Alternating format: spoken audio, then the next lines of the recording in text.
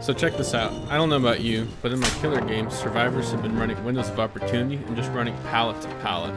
And I accidentally put on this uh, Dream Pallet add-on for Freddy that creates fake pallets that just run from dangerous pallet to dangerous pallet. And look what happened.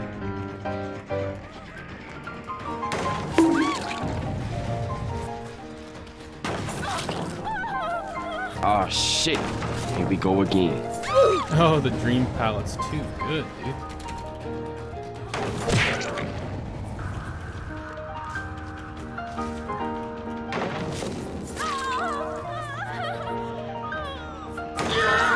Oh, yeah.